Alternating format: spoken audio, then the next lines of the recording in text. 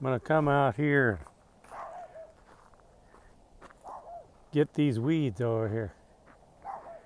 Uh, my wife has some uh, aluminum she got from a friend at the time.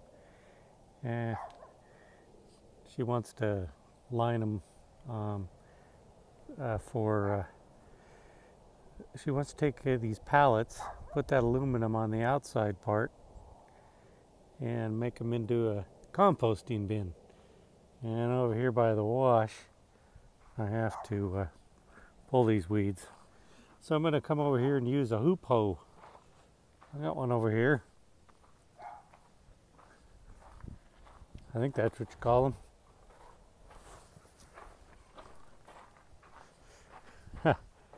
I don't know why I have a thatching rick when I don't have any grass. There's a thatching rick. Here's my hoop hoe right there. It works really good. There it is. See? And you come over here for where the I don't have any goat heads yet. I just kind of have to keep on pulling them up. And then there's kind of these little grass things. But if you get them when they're small, it's a lot easier than when they're big. So that's what I'm going to do.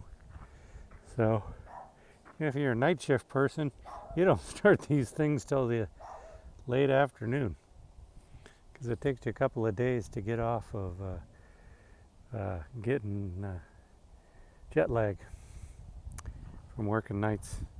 Hey, and I've only got about 379 more days and I can retire. Yay! I'm semi-retired now, so that's a good thing. So, yeah. All right. Thanks for watching.